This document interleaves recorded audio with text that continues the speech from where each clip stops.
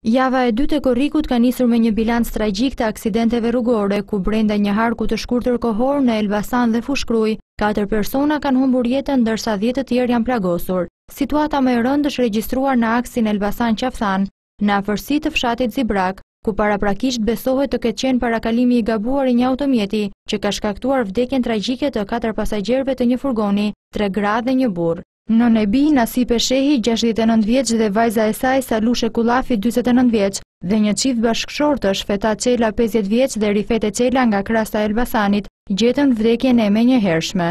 Mësohet se tre të plagosurit janë dërguar në spitalin e Elbasanit, ndërsa shoferi i furgonit, Eduard Haskurti, është dërguar në spitalin ushtarak të Tiranës, pasi gjendja e tij shëndetësore është përkeqësuar. Një automjet tip BMW me targa AA971EA nga Elbasani në drejtim të Librazhdit, ka parakaluar një automjet të tonazhit të rëndë duke i prerë rrugën një furgoni pasagjerësh, i cili vinte nga Librazhdi për në Elbasan.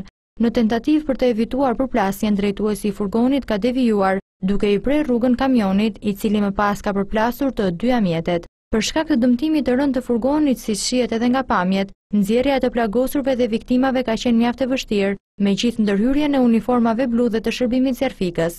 Për shkak se viktimat udhëtonin pa mjete identifikuese pak orë pas aksidentit, policia e Elbasanit bëri apel përmes televizionit A1 Report, duke publikuar përshkrimet e personave që humbën jetën tragjikisht për të mundësuar kështu identifikimin e tyre nëpërmjet të afërmve apo personave që mund t'i njihnin. Sakaq si shkak të aksidentit, uniformat blu nuk përjashtojnë edhe pistën e lagështirës në rrugë.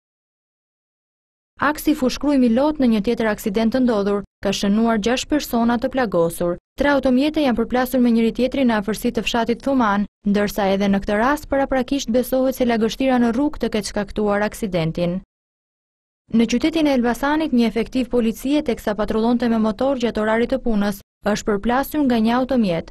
Ngjarja ka ndodhur në lagjen 11 nëntori, ku efektivi i policisë Fatmir Çollaku, 54 vjeç, është përplasur nga mjeti i një shtetasi turk. Shkak i aksidentit mendohet të ketë qenë pakujdesia e drejtuesit të automjetit.